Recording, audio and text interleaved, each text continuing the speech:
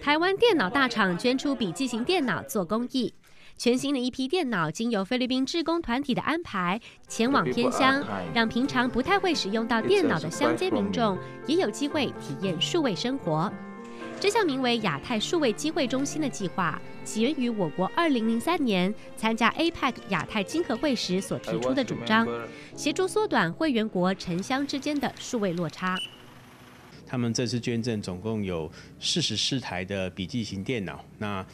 呃，捐给菲律宾三个就是合作单位，来协助菲律宾的一些穷困的居民或者偏远的居民，来缩短数位落差。我们挑选的条件就是两比较重点两个，一个就是能够真正的对他们的啊呃，没啊 have impact on their life，就是能够对他们的生活或者谋生方面真正起到一个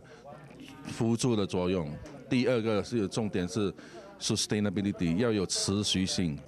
捐赠仪式上，职工团体纷纷报告过去计划执行的成果。其中，非华关爱基金会改装货柜车，打造流动电脑教室，在非国教导许多穷乡僻壤的民众使用电脑。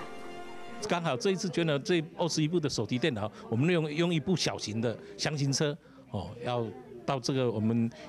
大型的这个货柜车四十尺货柜车到不了了，我们这一次就成型哦。亚太数位机会中心计划十年有成，共有 APEC 十个经济体参加，有六十八万人受益，获得 APEC 高度肯定，也列入今年 APEC 成立二十五周年的重要代表成果及 APEC 部长宣言中。is our treat to